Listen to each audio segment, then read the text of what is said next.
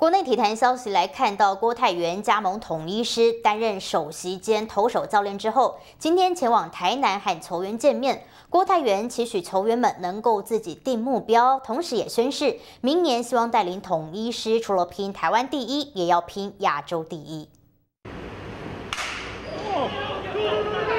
直棒统一师队跟南韩奈克森英雄队进行热身赛。明天起要接下师队首席教练兼投手教练郭泰源，二十五号到台南球场看球队秋训。这是郭泰源首度跟师队教练团与球员碰面。明年呢，能跟各位一起来打拼，哦，为我们同一师来打拼。当然，我们的目标永远是一样的，台湾一，亚洲一。首次见面，郭泰源先来一个精神喊话。因为你们都是职业球员，职业不是说我今天教你们练，你们才练，教你们做什么事情，你们再去做。职业是你的饭碗，你要怎么去拿这个饭碗，怎么样去过你过个好一个生活？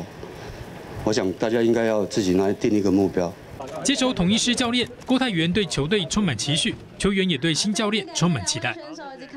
有这机会，就是可以在在他的教导下学习到，呃，他的东西啊，或者他的经验，希希望就是还是蛮期待明年的球季的。很希望可以从他身上学到。不一样的球风吧，大家都说他控球很厉害啊，所以希望可以跟他学学一下控球。今年在日本职棒软银队担任投手教练的郭泰源，帮助软银拿到日本第一，所以统一师也希望郭总能帮助球队明年拿到台湾第一。新唐人亚太电视，是金旺台湾台南报道。